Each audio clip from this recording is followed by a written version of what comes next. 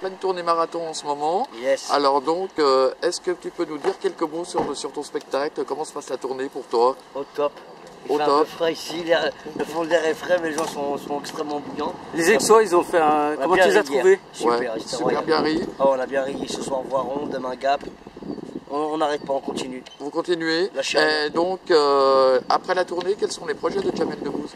Il y a beaucoup de films. Hein, Allez sur la lune Allez sur la lune. Merci beaucoup, Jamel.